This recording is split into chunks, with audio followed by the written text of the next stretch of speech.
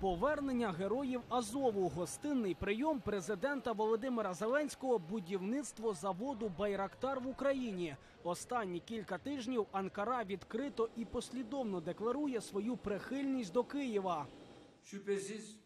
Нема сумніву, що Україна заслуговує на членство в НАТО. Я хотів би скористатися цією можливістю, щоб повторити те, що завжди відстоював. У справедливому мирі немає переможених.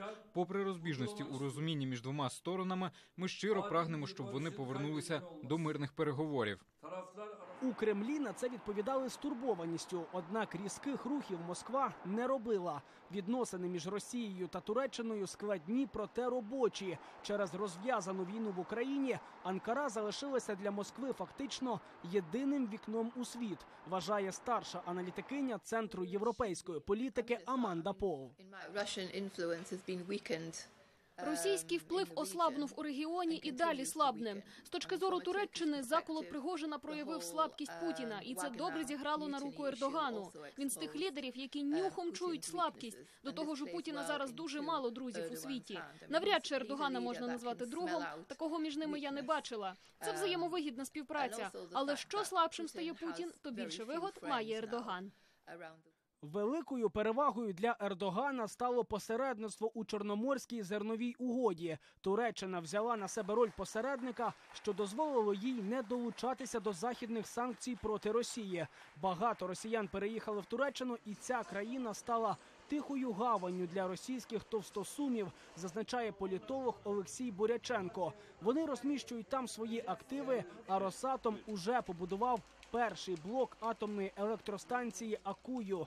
Такі вливання вкрай потрібні ослабленій економіці Туреччини. А ще ж дешевий російський газ, і це лише те, що лежить на поверхні. Політолог припускає, що між двома країнами можуть бути відносини і поза публічним полем.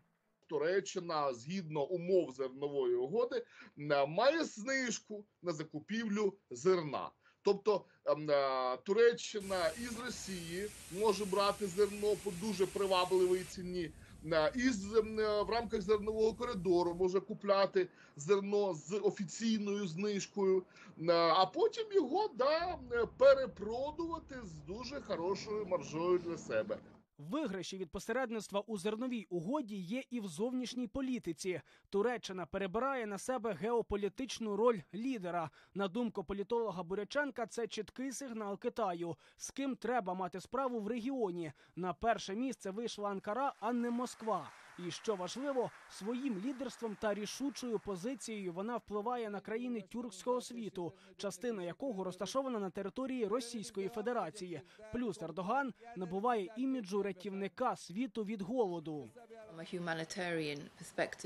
З гуманітарної точки зору турки дуже не хочуть бачити, як багато африканських країн, з якими у них дуже добрі відносини, перебувають у скрутному становищі і помирають з голоду. Це дає Туреччині можливість підсилити свою присутність на міжнародній арені і просувати свій імідж у країнах, які намагаються допомогти з доставкою продовольства, але також і в Україні. It. Аналітикиня упевнена, що своєї стратегії Туреччина не мінятиме і точно буде в когорті країн, залучених до реалізації мирного плану для України. Анкара не менше за Київ зацікавлена у нашій перемозі, а найбільше в поверненні Криму додає Олексій Буряченко.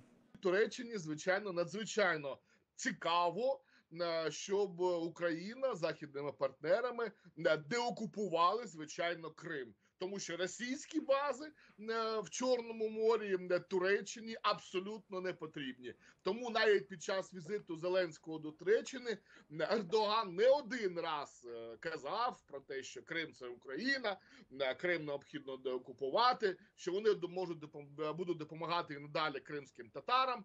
От і цю всю риторику продовжувати. Тобто, да, Ердоган грає дуже складну комбінацію, можливо, навіть декілька складних комбінацій на декількох геополітичних дошках.